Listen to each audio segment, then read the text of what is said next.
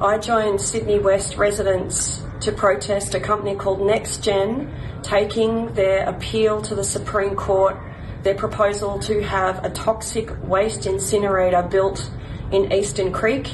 Sydney West residents and activists in Sydney have been organising against this proposal for many years, and we stand firmly against NextGen's attempt to put carcinogenic plumes all over Sydney.